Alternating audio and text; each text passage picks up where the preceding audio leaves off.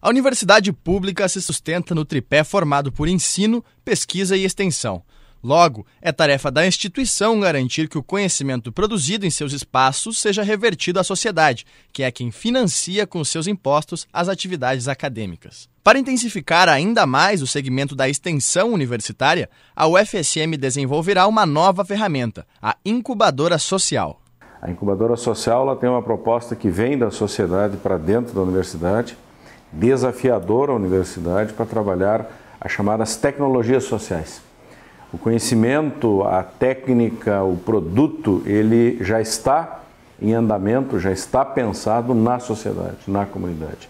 A incubadora abrigará projetos das áreas sociais da cidade e da região, funcionando tanto no campus quanto à distância. Pela experiência que a universidade tem hoje com os seus diferentes polos de educação à distância, a gente sabendo que funciona muito bem o sistema de comunicação entre a universidade, a academia e os polos, nós pensamos que, através da extensão, isso passou a ser uma demanda a partir deste ano, especialmente a partir de 2012, nós podemos usar as tecnologias que a universidade já tem em termos de educação à distância e propiciar que a incubadora tenha este foco diferenciado.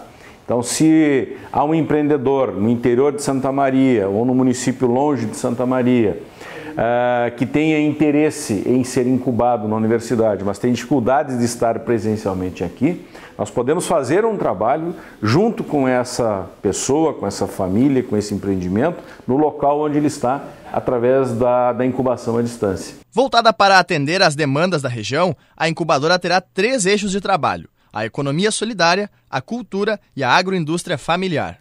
Nós temos é, diferentes segmentos ligados à cultura, por exemplo ligado a, aos serviços hoje que nós poderíamos pensar é, em relação a, ao artesanato, por exemplo, seria um, um, elemento novo, a produção de alimentos, aí onde entra a agroindústria familiar. E temos uma riqueza hoje também já reconhecida, isso está na história de Santa Maria e agora foi recuperado nos últimos anos pelo projeto Esperança com Esperança, que é a economia popular e solidária. Um dos possíveis parceiros da incubadora social é a ONG Oca Brasil, que desenvolve atividades culturais e formativa para as crianças de escolas públicas de Santa Maria a incubadora social vai permitir uh, a gente dar sequência né, a esse trabalho de, de formação e de incentivo que a gente tem fomentado nas crianças, que, de, que hoje já são jovens, muitos deles, né, e que estão entrando aí no mercado de trabalho. Eu vejo a incubadora, por exemplo, nessa potencialização desses coletivos culturais, movimentando a economia da cultura.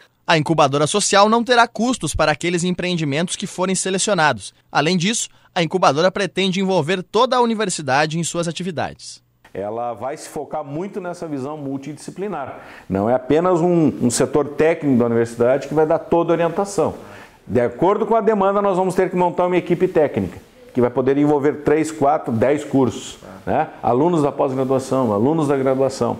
Então há um regimento que vai contemplar toda essa perspectiva de dinâmica de funcionamento.